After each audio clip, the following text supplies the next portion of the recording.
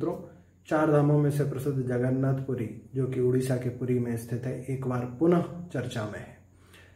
चर्चा का विषय है खजाने की खोज, पुरातत्ववेद एवं अन्य संगठन जगन्नाथपुरी में खजाने की खोज कर रहे पूर्व में 2011 में यहाँ से 18 टन चांदी प्राप्त हुई थी, जो इसकी कीमत लगभग 90 करोड़ थी।